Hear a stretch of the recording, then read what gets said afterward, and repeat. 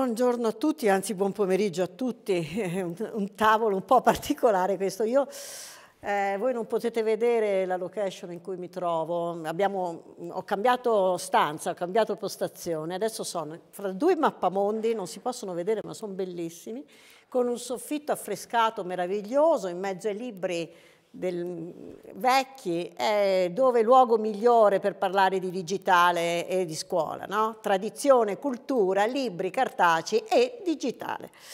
Io ringrazio veramente Alessandra Rucci, dirigente del Benincasa, Savoia Benincasa, che conoscete tutti, quindi non, non, non, ho bisogno di presentarla, immagino. Giancarla Spurio, una docente del, dell'Istituto Turoldo di Zogno, e Angelo Canio D'Alessio che è un dirigente della scuola primaria di Cellammare. Perché ho chiesto, e, e, qui con me ho trattenuto, perché è da stamattina che è qui con noi, Stefano Ghidini, che però a cui non hanno dato il microfono e quindi è posizionato lì. Io faccio da ponte, se avete delle domande da fargli eh, di tipo tecnico, dato che parliamo dalla didattica in presenza, didattica a distanza, come riprogettare una scuola, ci sono gli ambienti, poi lui ha qualche problema sulle sedie a rotelle, no? che ben conosciamo, che le provocazioni stanno a mille. Scusate, ma un po' mi voglio rilassare dopo questa giornata che vi assicuro non è stata assolutamente semplice da affrontare. Comunque, se avete delle, delle domande da fare, anche eh, a Stefano uh, sull'ambito tecnologia e ambienti è ready e qui con noi anche lui. Quindi ringrazio tantissimo eh, le eh, persone che si sono iscritte a questo tavolo, molto numerose peraltro. E eh, cosa devo dire dopo una giornata così intensa di stimoli no? e di eh, spunti sulla, sulle problematiche inerenti alla scuola, su cosa vuol dire passare da una didattica in presenza a didattica a distanza, cosa vuol dire riprogettare la scuola. Qui ho dei dirigenti scolastici che sanno e ci diranno no? cosa vuol dire riprogettare una scuola che eh, si trova in una situazione così eh, diversa, perché non credo che sia soltanto la sicurezza, ed è già un grossissimo problema evidentemente, la formazione alla sicurezza, che non è sia ai docenti che, che, ai, eh, che ai, ragazzi, ma proprio eh, il pensare ad una scuola che non è più in presenza, che non è più la scuola di, di febbraio, che ce lo siamo detto stamattina, abbiamo sentito no, de, degli esperti eh, secondo me di altissimo livello, eh, che devo sempre ringraziare per la loro disponibilità, ma tutti hanno detto la stessa identica cosa. Torniamo a scuola eh, dicembre, gennaio, eh, non lo sappiamo, ma quando torneremo a scuola non sarà più la scuola di febbraio. C'è questa... Um, questo periodo che ha sconvolto tutto, ci ha messo di fronte ad una realtà completamente nuova, completamente diversa, dove io insisto, dato che sono un po' fanatica e credo sempre di essere estremamente ripetitiva, perché in fin dei conti sono solo dieci anni che lo dico, quindi ancora altri dieci anni per continuare a dirlo e battere il chiodo sempre lì. Io dico sempre un'unica cosa, fondamentalmente la riprogettazione di una scuola passa prima di tutto da una riprogettazione didattica. Se non si fa una didattica diversa e quindi ambienti, eh, arredi, modalità di organizzazione, l'organizzazione proprio della governance della scuola deve girare intorno a una riprogettazione didattica.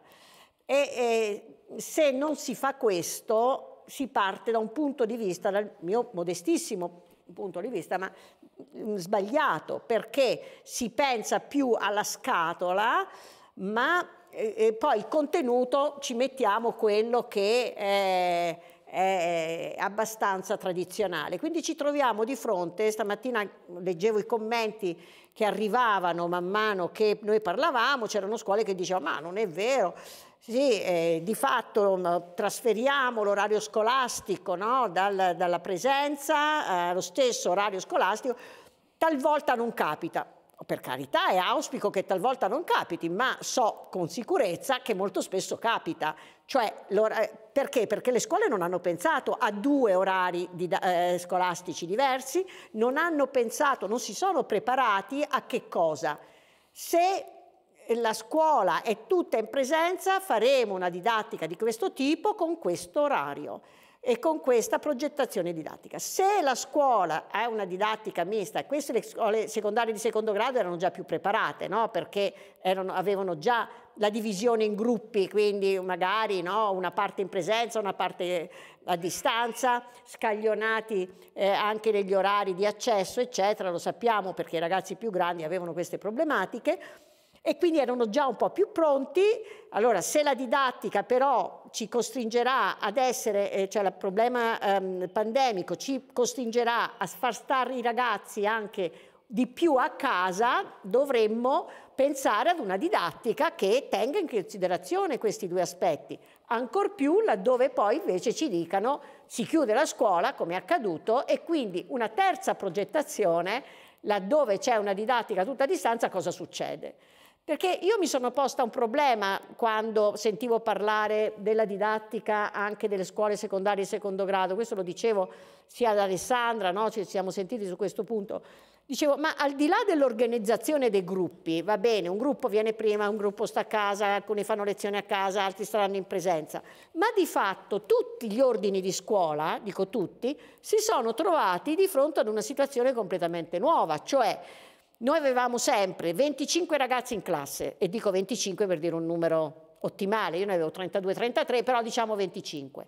Di questi 25, 2, 3, 4 si ammalavano di influenza e stavano a casa, 3, 4 giorni, 5 giorni e poi tornavano a scuola e tutto andava bene.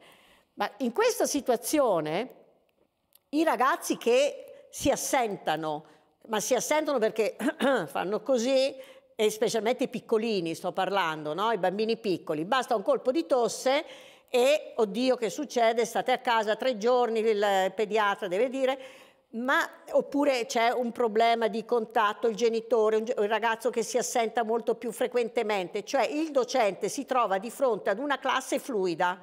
Cioè, oggi ci sono dei ragazzi presenti, domani non sappiamo chi sarà presente, no? E anche in una situazione di didattica in presenza. Cioè l'assenza è molto più frequente, l'assenza è anche più lunga. E, e, quindi questo ci comporta una didattica che tenga conto di una fluidità di ragazzi in classe e una fluidità. Eh, e che cosa accade con quelli che sono a casa? Come facciamo a, far, a tenerli legati alla scuola? No, perché io ho delle oggettive difficoltà a parlare con un monitor davanti. Infatti tutti mi dicono ma dovresti registrare dei webinar, devi fare delle pillole, devi raccontare la didattica, la progettazione.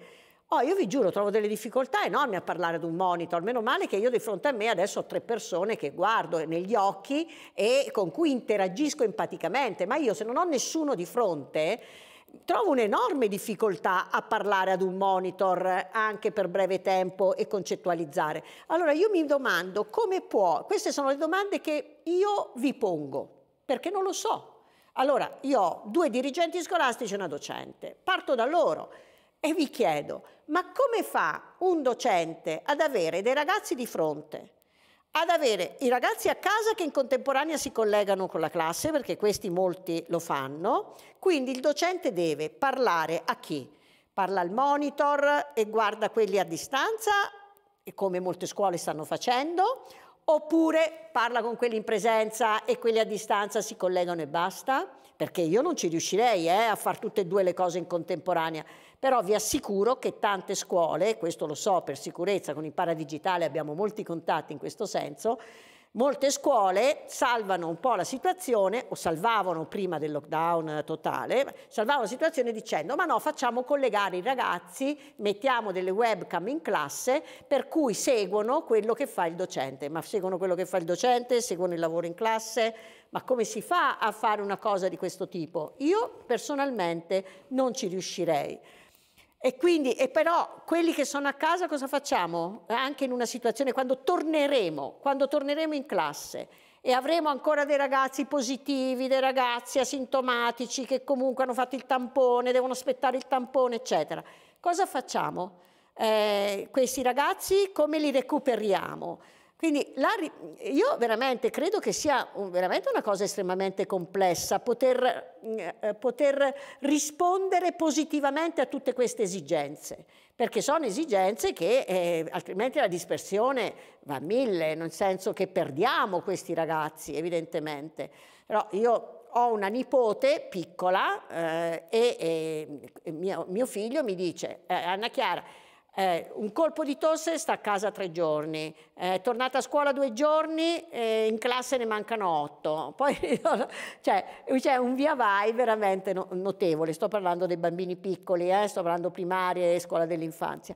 Quindi, e già partirei da questo problema, che è un problema di ordine organizzativo, se vogliamo, perché questo però organizzativo da un certo punto di vista, ma l'organizzazione implica una riprogettazione didattica perché altrimenti come si fa? Faccio la mia lezione tradizionale, normale?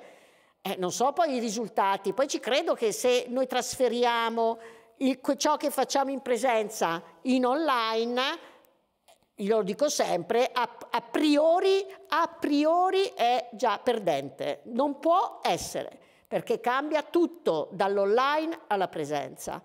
Ci sono aspetti positivi che secondo me andrebbero valorizzati comunque, ma ci sono anche tante criticità se trasportati in questa maniera.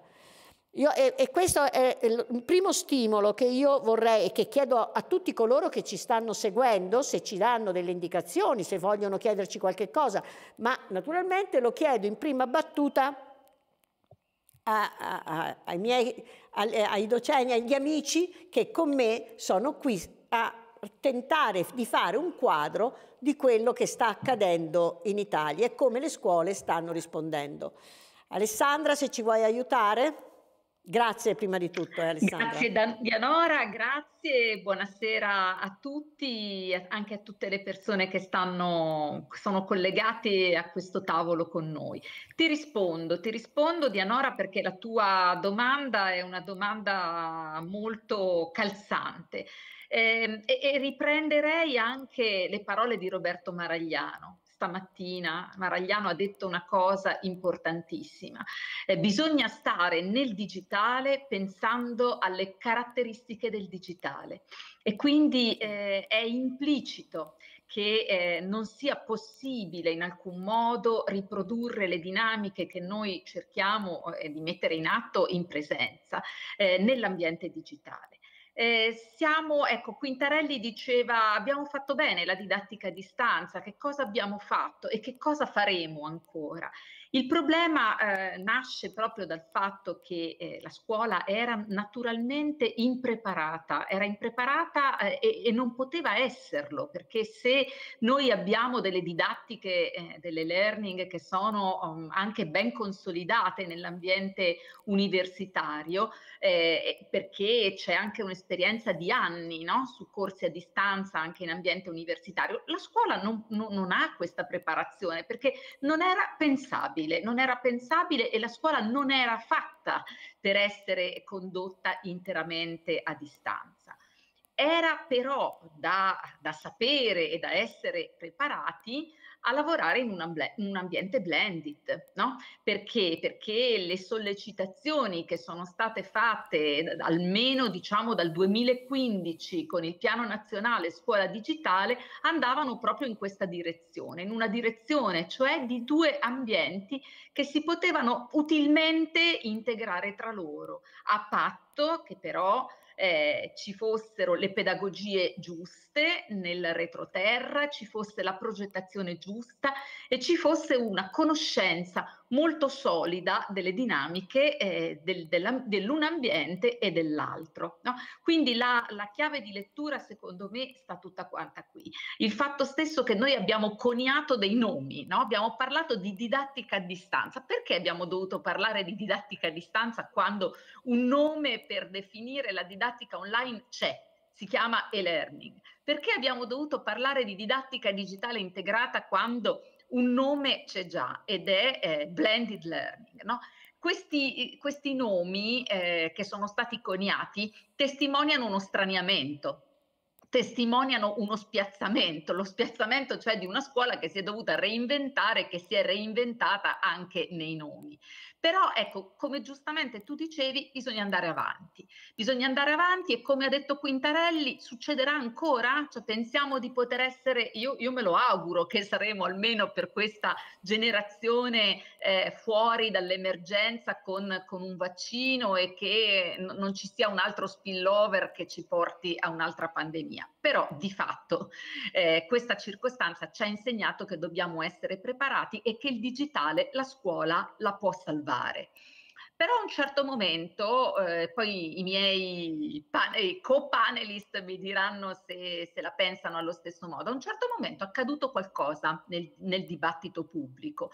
Mentre eh, all'indomani del lockdown c'è stata una grande energia creativa, c'è stata ehm, una ricerca anche, un dialogo molto operoso no? per, per, cercare di, di, reinventarsi nel digitale, a un certo punto ehm, il digitale è sembrato il male eh, di tutti i tempi e, e, si sono impiegate tutte le energie possibili e immaginabili per ripensare alla presenza, a un certo punto secondo me anche eh, sottovalutando e dimenticando eh, la necessità di dover fare i conti con ancora con l'ambiente digitale. Per cui le energie che sono state profuse nel dibattito sui banchi, nel dibattito sugli ambienti che sono sicuramente eh, fondamentali perché poi nella scuola in presenza noi dovremo uh, tornare, però hanno hanno uh, buttato un po', dico io, il bambino con l'acqua sporca, cioè il, il, digitale a un certo punto è sembrato il male, la didattica a distanza è sembrato il male e ancora in una parte del, del dibattito pubblico la didattica a distanza sembra essere il male. Ci si dimentica invece che il digitale ha salvato la scuola, cioè ha tenuto viva la scuola e gli ha dato una possibilità di esistenza. Io sono stata bambina all'epoca dei, dei grandi terremoti, no? o all'epoca de, delle grandi eh, catastrofi eh, naturali di cui si parlava, parlava anche Bianchi oggi. No? Io mi sono reso conto del problema quando c'è stato il terremoto. La scuola senza il digitale si è interrotta. Io sono stata per una frana nella mia città eh, mesi senza scuola in quinto anno, quando dovevo fare l'esame di Stato. In Irpinia eh, le scuole si interruppero e in tutte le storie dei, dei grandi terremoti. Invece oggi abbiamo un'opportunità grandiosa e quindi questa opportunità va sfruttata al meglio. Eh, e torno così, non, non, rubo troppo tempo anche ai miei colleghi, sulla domanda di Anora. Come fa un docente a seguire una parte della classe in presenza, una parte della classe a distanza. Io mh, mhmm, su questo probabilmente risulterò impopolare perché magari andrò contro uh, scelte che, che, che, i miei colleghi sono stati costretti a fare o che, che pure hanno fatto sicuramente con la migliore delle intenzioni. Non si può, io ti rispondo non si può, cioè non si può fare eh, 50% della classe in presenza e 50% mh, della classe a distanza e far seguire dei ragazzi a casa una lezione come se fosse uno spettacolo televisivo, ok? Eh, va proprio radicalmente eh, cambiata l'ottica. Se proprio è necessario fare in questo modo, se non è possibile salvaguardare l'unitarietà del gruppo classe, che sarebbe invece l'optimum, in modo tale che gli studenti possano seguire una proposta omogenea per caratteristiche e che sia o tutta in presenza o tutta a distanza, ma se questo proprio non è possibile, allora la modalità della didattica va radicalmente cambiata. E quindi quello che si fa con quella metà della classe che sta seguendo in presenza e quella metà che segue a distanza non può essere sicuramente la lezione, chiamiamola così frontale, la spiegazione, ma eh, bisognerebbe proprio ribaltare eh, questo anche, anche veramente quando facciamo il 100% a distanza, bisognerebbe ribaltare la modalità secondo me e lavorare sugli input frontali in modalità flipped learning, cioè far fruire come succede nelle learning normale, far fruire la lezione in un momento asincrono, registrata in modo tale che lo studente possa ritornarci sopra, commentarla e, e con tutte le proposte anche guidate. E in, in sincrono Eh, il momento è quello del lavoro collaborativo, eh, che sia condotto con una discussione didattica, che sia condotto con una proposta su una piattaforma collaborativa, con eh, un confronto con tutti quelli che sono gli strumenti che noi abbiamo a disposizione, ma ecco, secondo me l'unica possibilità per salvare una proposta di questo genere è rovesciare, eh, è rovesciare la proposta e quindi pensare di essere lì insieme e in sincrona in ambienti diversi soltanto se si attua un confronto, un lavoro collaborativo e sicuramente non una lezione, tra virgolette, spettacolo. E mi taccio, di cose da dire ce ne sarebbero, ce ne sarebbero veramente moltissime, però ecco, mi sembrava, mi sembrava importante eh, fare un focus su questo. Abbiamo fatto confusione perché non abbiamo le conoscenze, perché non abbiamo studiato le didattiche delle learning e del blended learning e non non eravamo tenuti a farlo, però adesso non possiamo far finta di niente, insomma. Ecco. Grazie Alessandra, ma eh, io ti dirò che eh, a, a, giugno infatti avevo no, pensato ad una proposta che ti avevo anche inviato dove proprio c'era il discorso della, eh, del fare delle lezioni tipo frontali, registrate, addirittura io facevo un passo ancora più in avanti, cioè la mia idea è quella di eh, accorpare più discipline in maniera tale da, da, lavorare per nodi concettuali veramente. Io continuo a dire, guardate che nelle learning eh, non ci sono le limitazioni che ci sono nel mondo reale, vale a dire nel mondo reale tu hai delle divisioni disciplinari, hai degli orari, non puoi, non puoi fare compresenze, ognuno ha la sua classe, non puoi uscire, cioè non esiste, soprattutto nelle superiori no? o anche le medie, c'è la divisione disciplinare, difficile che due docenti riescano riescono a lavorare insieme poi dove ti metti 3-50 ragazzi non è possibile. Nel virtuale tutto questo è possibile perché queste barriere vengono assolutamente limitate. La mia proposta infatti era proprio quella no, per le scuole che hanno questa suddivisione disciplinare. Accorpate per nodi concettuali, lavorate insieme più docenti alla stessa ora, invece di fare un'ora di italiano, un'ora di storia, un'ora di geografia, fate un'ora e mezza su un nodo concettuale che veda il coinvolgimento di italiano, storia, geografia.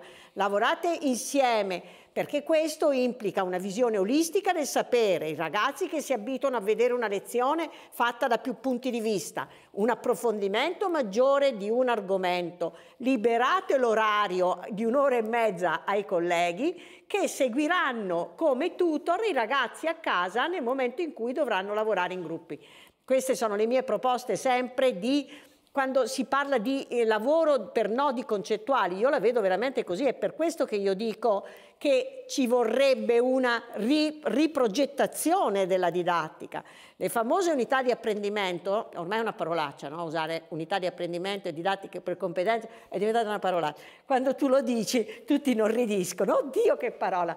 Però dato che, vero, ce la raccontiamo da dieci anni, no, Alessandra, questa cosa, eh, il, la, la, didattica per competenze, questo ci diceva già dieci anni fa, cioè quando pensavamo a classi che lavoravano insieme, a studenti che lavoravano insieme in forma libera, a gruppi, ma soprattutto la collaborazione, la condivisione del sapere da parte dei docenti, che dovrebbero interagire su nodi concettuali. Allora questo risolverebbe altri problemi, no? altri problemi. Questo richiede, dico, altra riprogettazione, quindi è tutto un mondo da, da guardare, anche perché e, e io qui ho due dirigenti e una docente.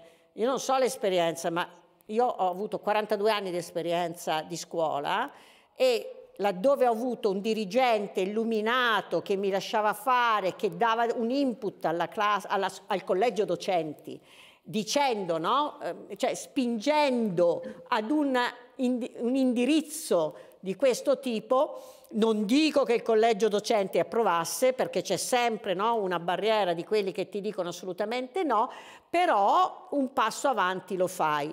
Adesso con la didattica a distanza, questo, questo passaggio dei docenti che ti dicono no, io no, perché la tecnologia non la voglio vedere, si sono, sono stati costretti invece ad affrontarlo e quindi hanno capito anche loro che bene o male hanno dovuto mettersi in gioco.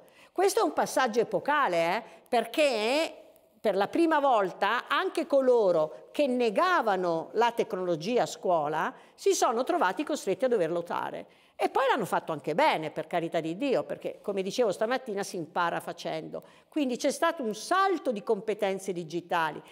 Però è anche giusto eh, che eh, la, la, mh, il rifiuto della tecnologia, quindi la demonizzazione della didattica a distanza, come dicevi, ma come dicevamo anche stamattina, nei panni stamattina, è stata pesante. Perché? Perché ha provocato una grande fatica per i docenti, perché si sono dovuti reinventare tutto, talvolta con risultati positivi, ma talvolta anche con risultati negativi, perché se un ragazzo incomincia a perderlo, non si collega, non ti vuole seguire, non ha voglia, eccetera, eh, questo comporta poi una dispersione scolastica ancora maggiore, per cui io ho visto tutti i docenti arrivare a, genna- a giugno sconvolti, sconvolti da un punto di vista fisico, perché anche loro hanno passato miliardi di ore davanti a un computer, da un punto di vista psicologico, perché comunque hanno dovuto supportare i propri studenti ad affrontare una realtà totalmente nuova,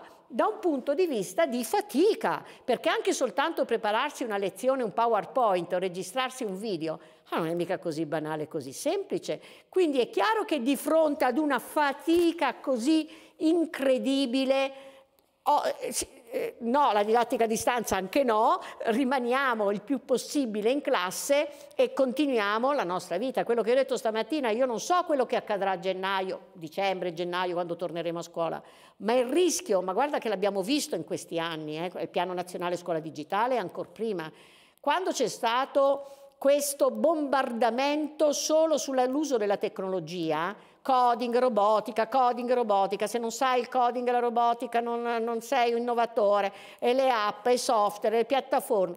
C'era un tale bombardamento che la gente a un certo punto tornava indietro e diceva sì vabbè ho seguito il corso, non ci ho capito niente, non, non, non mi serve, per carità rimango ancorata alla mia tradizione. Quindi talvolta quando c'è tanta fatica o, tanto, o non ne capisci a fondo veramente l'utilizzo perché tanto a scuola torneremo e quando torneremo io quello non lo guardo proprio più. Questo per me è il rischio maggiore. È il rischio veramente che ci siamo visti, no? i cicli e ricicli nel momento in cui si, lavora, si è lavorato. Eh, volevo sentire... Sì. Sì, sì, dimmi Giancarla. Okay.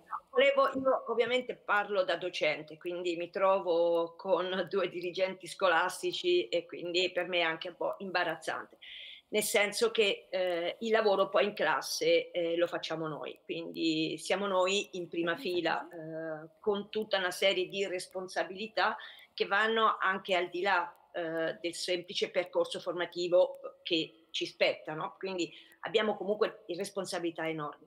Eh, cosa è successo con la data? Perché eh, oggi è stato fatto veramente un bel percorso e mh, mm, non si è puntato, solo alcuni forse hanno uh, puntato l'accento su quello che è stato invece proprio lavoro del docente. Molti di noi erano già abituati a lavorare con il digitale, quindi non è proprio, almeno nella, io parlo della zona in cui vivo, io sono in Lombardia, molte scuole avevano già fatto un percorso e di formazione e anche metodologico, soltanto che la DAD ci ha portato di fronte a un problema più grande eh, rispetto a quello che erano le nostre, le nostre possibilità, cioè eh, improvvisamente sospensione delle lezioni e lavoro da casa, quindi dover integrare in maniera diversa quello che eh, sapevamo fare in, a, a, scuola. Per alcuni eh, è stato ancora più difficile perché se eh, il metodo didattico rimane ancora quello solo trasmissivo, l'utilizzo uh, del digitale diventa pesantissimo, sia per chi lo fa, che quindi non sa come affrontare determinati passaggi, e sia per lo studente che per uh, 50 minuti rimane attaccato al, al, allo schermo e sentire un insegnante che continua a parlare, che continua a spiegare e che quindi diventa, la tensione diventa veramente pesante. Però il discorso qual è? Eh, noi abbiamo avuto tantissimi mesi, quindi fino a mese di maggio abbiamo davvero, come dice Dianora, ehm, eh, tentato in tutti i modi di portare avanti il nostro lavoro. Quindi un aspetto positivo della DAD è stato sicuramente questo, che, ha, che pur avendo le lezioni sospese in presenza, noi comunque siamo andati avanti. Quindi questo è già un aspetto positivo. È vero che ci è costato una enorme fatica, sia emotiva eh, sia fisica, perché comunque eh, siamo rimasti chiusi. Ehm, a casa, eh, i contatti con i colleghi e con le dirigenze soltanto virtuale, quindi anche lì passaggi eh, velocizzati perché eh, di fatto collegati in tanti eh, non si poteva intervenire tutti come normalmente eh, si faceva in presenza, che magari c'era la possibilità anche di, eh, di parlare con il vicino, di commentare, di fare di portare avanti il dialogo in maniera più, anche più costruttiva tra di noi, si sa, i collegi docenti, i vari consigli di classe. Era diventato tutto molto ehm, distaccato, no? perché eh, anche consigli di classe con i genitori eh, diventava proprio, tra virgolette, un, un, dovere, cioè il doverlo fare perché comunque la scuola richiede questi passaggi, però non c'era più quell'atteggiamento, quell'atmosfera che normalmente abbiamo nei consigli di classe. Però quello che io volevo eh, sottolineare qui e do ragione a Dianora è, è che eh, comunque abbiamo fatto un'esperienza, un'esperienza importantissima che ci deve portare davvero adesso, come eh, si è stato detto oggi, a riprogettare il presente ma pensando al futuro, cioè è questo il discorso. Noi adesso un minimo di domestichezza con determinati strumenti li abbiamo, ma adesso c'è da riprogettare, da riprogrammare, da rivedere davvero in, proprio in presenza come ristrutturare tutto il nostro percorso, per non buttare via le esperienze fatte, comunque anche sugli aspetti negativi, perché anche dagli aspetti negativi possiamo trarre delle indicazioni fondamentali capire perché, perché sono insoddisfatta, perché eh, di fronte ad un test che ho somministrato eh, via eh, online non sono soddisfatta e continuo come docente a raccontarla, hanno copiato, non è così, se fossero stati in presenza avrei controllato meglio. Ecco, perché continuiamo ancora a dare importanza a dei test strutturati? Perché continuiamo ancora a vivere questo rapporto di valutazione no? fortissima del nostro eh, lavoro in questa maniera? Ecco, secondo me dove abbiamo maggiore, avuto maggiore criticità, dove noi cominciamo a dire basta la DAD, no, non si fa più. Sì, eh, ovvio, non, nessuno è contento di fare lezione da casa, ma, eh, ma da questa esperienza cosa ho capito che non va, cosa anche su di me, su quello che io ho fatto non mi è piaciuto, non ha funzionato con i ragazzi, dove non sono stata incisiva perché poi alcuni percorsi fatti con la DAD e con i ragazzi sono stati bellissimi, soprattutto con la scrittura collaborativa, cioè noi abbiamo lavorato con loro vedendo lavorare, scrivere e noi da quest'altra parte dare dei consigli, inserirci con i commenti e vedere proprio nascere dei prodotti eh, cooperativi bellissimi. Cioè queste cose non le abbiamo dimenticate, ci deve servire proprio come punto di partenza per riprogettare effettivamente. Grazie. Ho preso troppo la parola, ma ho cercato di rispondere Grazie. ad una domanda eh, Giovanni che eh, diceva perché molti eh, di noi non accettano di mettersi in gioco, perché è difficile, perché eh, è difficile rivedere tutto il nostro metodo di insegnamento, cioè eh, se io vado in classe, prendo il libro e eh, dico quello che c'è scritto sul libro eh, e poi invece devo, devo ristrutturare tutto il mio percorso, è una fatica enorme che mi mette in gioco da un punto di vista sia professionale sia anche de, de, dal punto di vista delle mie conoscenze. Scusa Giancarla, scusami eh, siete voi che state sì. guardando le chat? Sì, io appunto adesso avevo risposto a questa eh, di Giovanni. No, perché noi eh, li aspettavo dalla regia, infatti vedevo che non c'erano richieste di messaggi. Se date qualche indicazione anche dei messaggi che stanno arrivando, perché non vorrei il webinar, no? Io vorrei proprio ascoltare anche che cosa ci chiede la rete e i, parteci eh, allora, rete, i partecipanti a questo tavolo. Siamo in gioco. Ecco, la domanda che era posta da, da, appunto da Giovanni era perché molti di noi non si mettono in gioco, perché è così difficile eh, mettersi in gioco con la data. È l'unica domanda che è arrivata? Domanda. No, no, ce ne sono altre, adesso te le dico, ma non so se volete rispondere voi a questa, aggiungere qualcosa. Ah, io volevo dire una cosa, no? Mm, eh, le parolacce di cui ha parlato Dianora prima, unità di apprendimento, no? didattica per competenze, sono le parolacce che stanno alla base di una didattica efficace con il digitale. Se non c'è alla base una progettazione didattica di quel tipo e un modo di intendere la didattica come eh, costruzione della conoscenza, apprendimento anche insieme, sociale, eh, apprendimento non di nozioni ma di competenze, eh, noi siamo completamente fuori. Ecco perché forse alcune persone non si mettono in gioco, probabilmente perché anche l'impianto didattico, l'impianto eh, che c'è eh, come retroterra non è un impianto che le favorisce, perché è chiaro che se una scuola ha una progettazione basata sui contenuti, contenuti, ha fatto il curriculum quando l'ha fatto per competenze perché lo doveva fare e non ha dato senso e non ha dato valore a quel, quel costrutto, e allora la difficoltà a mettersi in gioco è enorme perché il docente probabilmente non ha avuto occasioni di,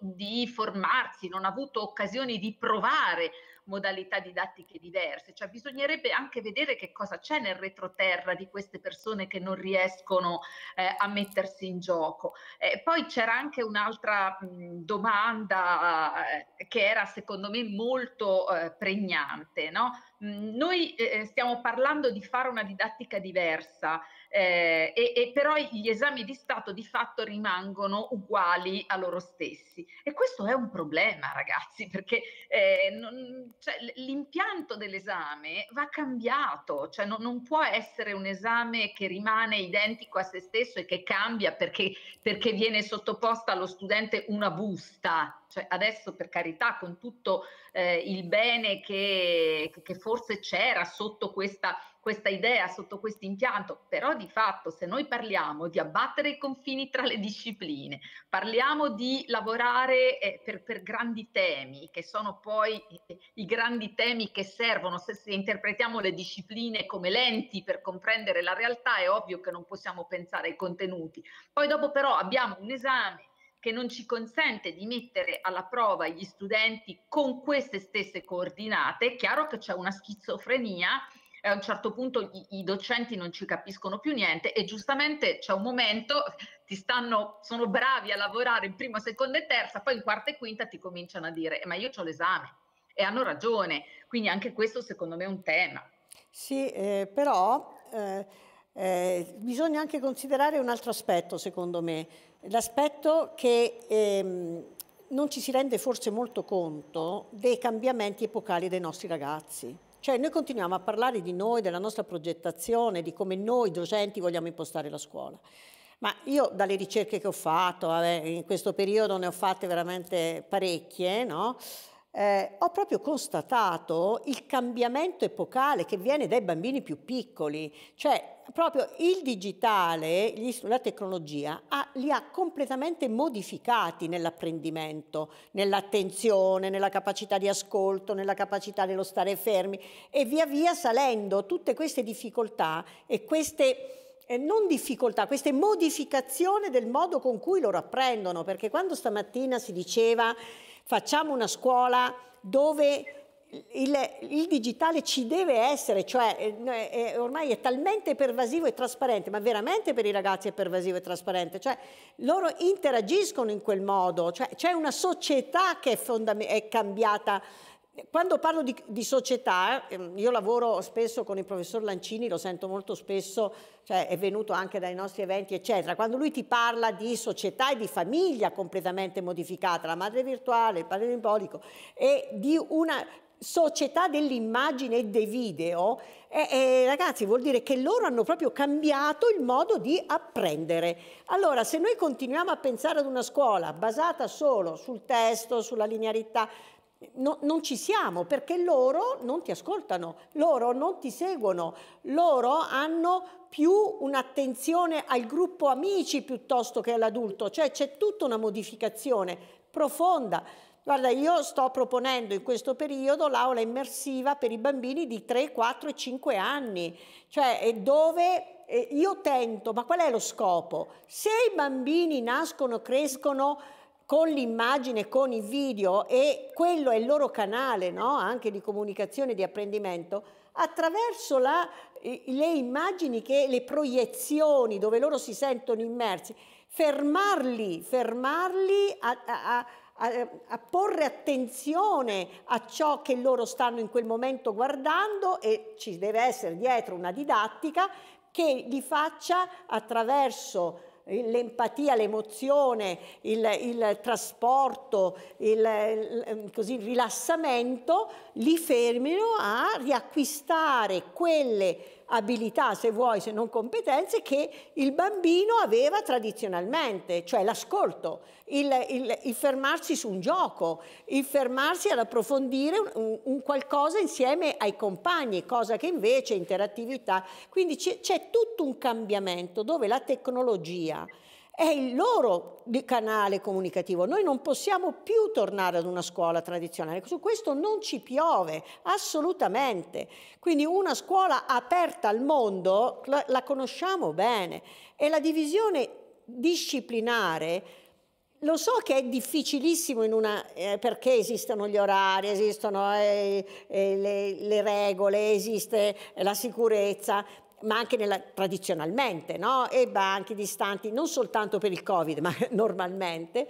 Cioè esistono delle, eh, eh, quando stamattina si dice sviluppiamo sempre di più l'autonomia dei dirigenti scolastici che devono impostare la scuola in una certa maniera, ma tenendo in considerazione che noi non abbiamo più generazioni come ce le avevamo, non dico tanto, tre anni fa, tre, quattro anni fa non ce n'è per nessuno. Quanti ragazzi nella didattica a distanza avete scoperto essere migliori di quello che pensavate perché avevano delle competenze digitali tali da mettersi molto di più in gioco? C'è chi si nascondeva, c'è chi si nascondeva e chi scappava.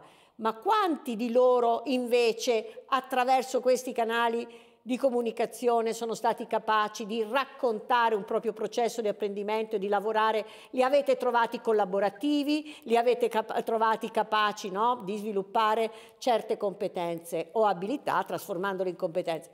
Perché poi vedi, c'è anche questo, eh, questo discorso dell'esame di maturità, io certe volte mica lo capisco però, eh, perché insomma io adesso non voglio io portare la mia esperienza personale, ma vi vedo nel 2011, nel 2011 io ho portato la mia classe alla maturità senza i libri di testo, con gli iPad, eh, lavorando tutto in nodi concettuali su tutte le discipline tranne la matematica, perché l'esame di matematica non poteva essere.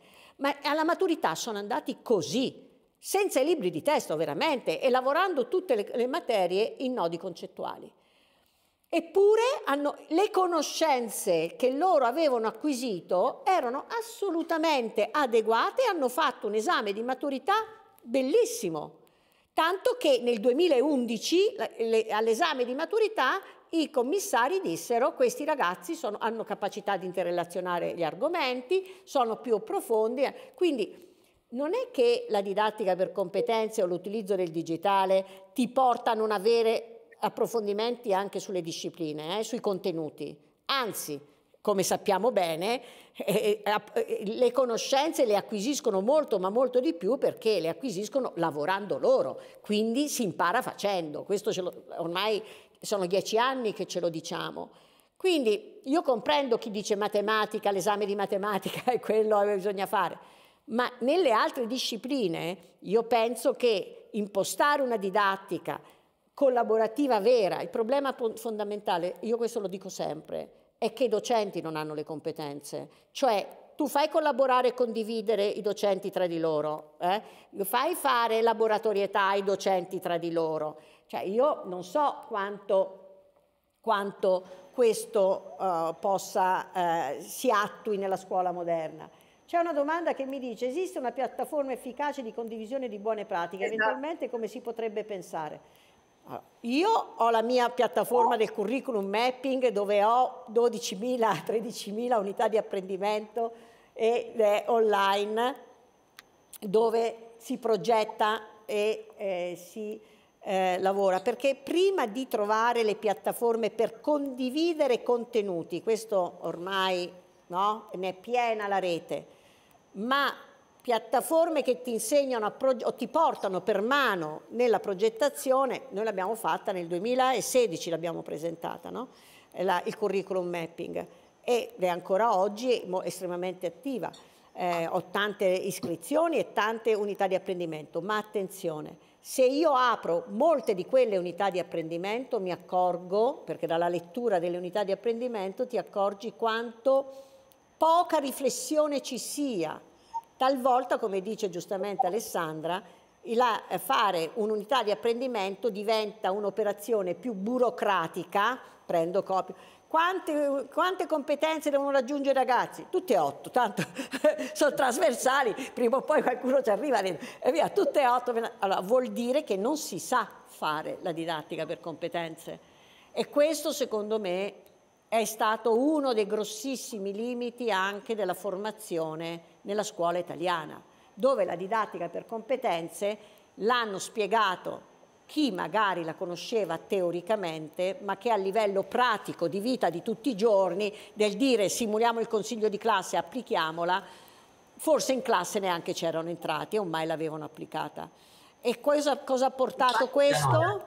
Cosa ha portato questo? Ha portato il fatto che per reazione, siccome la didattica per competenze non l'abbiamo capita, allora non la facciamo che tanto non ci serve. Tanto i nostri studenti escono da scuola e loro sicuramente sono bravi perché le conoscenze ce l'hanno e ce lo dicono tutti quanti in Europa o nel mondo, perché quando vanno all'estero sono bravissimi. Siamo ancora lì, eh? secondo me. Sì. Eh, Angelo, allora, vuoi dire qualcosa? Io sì. intanto leggo qui. Eh, sì, sì, io vorrei sapere, visto che la didattica per competenze è rimasta ancora oggi una chimera, cosa materialmente dovremmo fare? Inoltre è inutile parlare dei curricoli per competenze se poi l'esame di Stato non è stato mai cambiato. Eh, siamo ancora al discorso di prima, no? eh, non è una chimera sì. la didattica per competenze. La didattica per competenze è una realtà che moltissime scuole fanno, però non moltissime, tante scuole fanno e tanti, e tanti docenti conoscono. Però c'è anche il problema che magari all'interno, se la scuola non sposa questa indicazione, nel consiglio di classe tu senti quel docente che dice io lavorerei in questo modo, ma nel mio consiglio di classe non trovo nessun collega disposto e mi dicono ma no, perché io devo fare la didattica per competenze? Eh, l'unica soluzione è farla disciplinarmente ma incominciare ad impostare un nuovo modo di fare scuola. Poi la chiamiamo didattica per competenze, chiamiamola con, con un nome nuovo e originale, ma senza una didattica diversa, che veramente perché perdiamo il senso del protagonismo degli studenti. Cosa vuol dire renderli protagonisti? Perché se per protagonismo significa che io do a loro come devono studiare, gli do i siti, gli do il materiale, gli do i miei appunti, gli do tutto quanto e poi gli dico adesso però ci fate una ricerca, elaborate un prodotto, ma io ti ho dato tutte le indicazioni, scusate, quello non è protagonismo. Per me protagonismo è una scuola fatta dagli studenti e per gli studenti, dove il docente li deve accompagnare per sviluppare i singoli talenti, uno per uno. Infatti l'altro giorno provocatoriamente dicevo ai, ai, miei formatori quando parlavamo, guardate che in una classe non potrà mai fare un'unità di apprendimento, ma dovrebbe fare unità di apprendimento una per ogni studente, 25 unità di apprendimento, incominciare ad impostarle e completarle solo alla fine del percorso, capendo quali sono i talenti di ciascuno, le necessità di ciascuno, ciò che loro desiderano voler sviluppare e accompagnarli nel loro percorso e sicuramente ognuno sarà diverso dall'altro. Ma se il docente non si pone al servizio dei propri studenti e attraverso questo supporto fare acquisire loro quelle conoscenze che sono fondamentali, per carità di Dio, non, noi non sappiamo bene cosa vuol dire protagonismo almeno per come la vedo io, scusate, sto parlando molto, ma eh, io la vedo in questa maniera e sono contestata eh, per questo, perché mi dicono, eh sì, certo, eh, fa, eh sì. Se vogliamo allora, fare... Ehm, Dimmi Angelo. Ti, no, non ti voglio interrompere. No, no, però eh, volevo eh, rispondere al, al, tuo input iniziale. Eh, come fa un docente a fare la didattica mista? Eh, un, Cristina ci ha scritto eh, tra le prime, ha detto impazziamo. vi posso garantire che è così perché io provengo dalla stessa regione eh, di Virginia che ha coniato un nuovo termine che ha detto che la didattica fatta così è un fritto misto, cioè dalla Puglia eh, dove praticamente il fatto di avere 6-7 ragazzi in presenza e altri a distanza è diventato istituzionale, non un, un caso legato alla, ai singoli episodi emergenziali. Eh, tu sei, in che senso tu sei diventato che, istituzionale? Sì. Perché eh, perché da noi in Puglia tutte le classi, praticamente tutte le classi, adesso non, non, te le so quantificare quante classi ci sono nel totale in Puglia, um, sono parzialmente a casa e parzialmente a scuola, tutte nessuna esclusa. E, e quindi il problema ce, ce, l'hanno proprio buttato addosso in una maniera veramente molto rude. Eh, condivido la risposta di Alessandra, quindi non, non, voglio aggiungere niente a quello che aveva già detto Alessandra, è impossibile. Cioè la risposta è unica, è univoca, è impossibile. Eh, così come diceva Einstein che è impossibile il viaggio nel tempo. Cioè non, è un problema che al momento con le nostre risorse, tecnologie e competenze non siamo in grado di risolvere. Però è altrettanto vero, tu sai che eh, a marzo di quest'anno, dopo le prime settimane di shock eh, che, hanno coinvolto tutti, eh, noi ci siamo già messi a lavorare per questa nuova idea di scuola eh, cercare di eh, trovare quegli spunti innovativi eh, e non lasciarli morire lì, in maniera tale che si potesse dare continuità, continuità a questa azione. Sai l'uso dei social, quanto io lo possa condividere perché il social è il canale di comunicazione degli alunni. No? Tu hai detto giustamente, ogni 3-4 anni cambiano completamente i, gli stili di apprendimento degli alunni perché vivono in un mondo che eh, nel frattempo è cambiato e la scuola non può stare ferma a fare questo, a, a guardarsi e, e, a chiedersi quanto le competenze o il PNSD siano un aspetto burocratico o altro. Eh, il tuo spunto, eh, il tuo, eh, che io prendo come una, un, un'istigazione a uno step successivo, cioè quello di lavorare su alcune competenze che forse come mondo scuola non abbiamo ancora acquisito, eh, che sono le competenze del lavorare insieme, no? del, dell'insegnamento collaborativo. Eh, lavorare per nodi concettuali, eh, far lavorare i ragazzi per team, eh, potenziare le capacità comunicative. Eh, lo si può ottenere solo con l'adeguata formazione di tutti coloro che lavorano nel mondo della scuola, eh, non, non, solo scrivendo da qualche parte. Eh, se noi ne diventiamo capaci e competenti, lo potremo trasferire ai nostri alunni. Eh, questa cosa, questa, questa nostra, eh, questo nostro rincorrere, eh, questa, questo, questo livello eh, di comprensione, eh, l'hanno anche segnalato alcuni eh, partecipanti. No? Qualcuno diceva i genitori intervengono durante le, le, le video lezioni, che in, in sé per sé non è un male, cioè eh, condividere la lezione, la video lezione, condividere eh, no, il famoso patto di corresponsabilità è quello, cioè condividere quali sono i, eh, i paradigmi dell'educazione.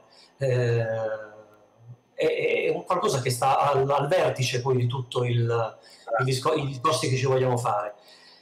La scuola deve anche imparare a relazionarsi, a mio avviso, in una maniera differente con le famiglie, in maniera diversa rispetto al, a quella che è la classica circolare o il rapporto che ci deve essere, eh, non assolutamente, non dico che non ci deve essere, il rapporto semplicemente istituzionale, senza scadere però nel, uh, nell'uso che si fa di solito dei, dei canali social, eh, che eh, insomma, le, le, le, campagne d'odio o altro sono, sono, sotto gli occhi di tutti. Eh, Angelo, scusami, mi stanno segnalando che il tempo della sessione è scaduto. Cioè, potremmo, potremmo, parlarne fino a mai. Eh, chiudeva alle 5 e mezza il tavolo. Eh, eh sì, chiudeva alle 5 e mezza. Potremmo parlare. Allora, io vi faccio una provocazione. Alessandra ti provoco, eh, perché con Giancarla e con Angelo già li conosco di più, eh, frequento di più. Eh, noi come Impara Digitale Mm, a parte che eh, vogliamo assolutamente continuare questi momenti di approfondimento, ma che siano approfondimento, è chiaro che in un'ora l'interazione anche con il pubblico eh, diventa complessa e, e non c'è, tranne qualche domanda e questo mi dispiace molto e chiedo scusa al pubblico che non ha potuto interagire come avremmo potuto, voluto. Però ehm, noi come Impara Digitale, con tutti quei relatori che oggi avete visto e con altri ancora, abbiamo intenzione di proseguire su questa strada del confronto, dell'approfondimento, delle proposte, delle proposte. Peraltro noi abbiamo fatto questa voce, la voce della scuola che ha avuto anche un bel successo, proprio far parlare in momenti di riflessione su alcune tematiche. Quindi il nostro invito come Impara Digitale sarà nel proseguire gli stati generali, diciamo, nell'arco dell'anno con degli appuntamenti eh, tematici di approfondimento ampi dove la base deve parlare senza vincoli istituzionali, anche se voi siete dirigenti, ma liberi di esprimere il proprio pensiero su tematiche per trovare insieme delle soluzioni. È un percorso che poi noi porteremo avanti fino ai prossimi stati generali, che già dobbiamo incominciare a, a cui dobbiamo cominciare a riflettere sin da domani. Eh, perché non è che possiamo... Adesso la registrazione di tutti questi video la vedrete sulla rete in brevissimo tempo, perché ci verranno consegnati in brevissimo tempo. Le consegneremo al Ministro che ce l'ha chiesto ufficialmente, quindi noi daremo tutte queste riflessioni, no? questi spunti di riflessione anche al Ministro ma da domani noi incominceremo a pensare al futuro, alla scuola dell'innovazione, alla scuola con mm, una scuola che deve guardare la società, che deve guardare i nostri ragazzi, i nostri bambini e incominciare veramente a pensare fattivamente come portare avanti una scuola nuova.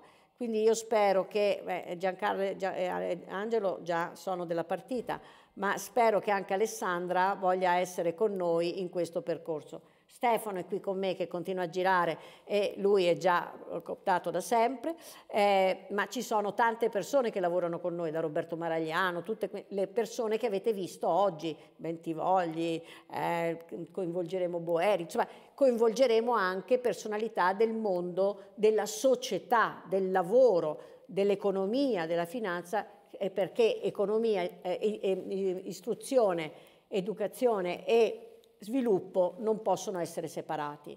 L'istruzione deve essere la base dello sviluppo. Quindi eh, coinvolgeremo ancora il professor Bianchi, insomma tutti coloro che oggi avete visto. Quindi io, io spero che tutti quanti ci possiate ancora seguire per quello che possiamo fare nel nostro piccolo sforzo, grande sforzo, perché lo facciamo veramente per rivolgerci alla scuola, per, per dare alla scuola un contributo. Io vi ringrazio tantissimo, veramente è stata una giornata molto faticosa, soprattutto prepararla, vi credete, quest'anno è stata una fatica immensa. Non posso che ringraziare anche chi ha lavorato con noi, soprattutto il team di Impara Digitale, Stefania, Paola, Daniela, tutti, la regia, Matteo Salvi e tutto il suo team eravamo davvero in tanti, oggi mi sembrava di essere Mediaset, eh, però eh, credo un servizio alla scuola lo abbiamo dato e questo è quello che a noi interessa e vogliamo continuare a darlo. Posso dire una parola solo per salutare? Allora, io mh, vi faccio, eh, solo raccolgo la provocazione felicemente, ma vi ringrazio perché io ho ascoltato tantissime occasioni formative, veramente seguo in continuazione webinar. Quello di oggi è stato, secondo me, un, um, uno dei momenti più intelligenti più acuti e con i maggiori spunti che io ho trovato da marzo ad oggi. Eh, veramente eh, sono stata felice di ascoltare anche tante cose coraggiose e, e, provocatorie in questa giornata e credo che ce ne sia un gran bisogno eh, veramente di continuare a, a, riflettere proprio su questa piega Perfetto. qui, Dianora. Quindi davvero siamo. complimenti perché hai messo in piedi un, un parterre di, di, di, di, teste veramente eccezionali. Grazie, grazie mille davvero. e anche grazie a voi ovviamente, teste eccezionali della scuola italiana. Grazie a tutti, davvero grazie. Arrivederci, adesso andiamo a riposare.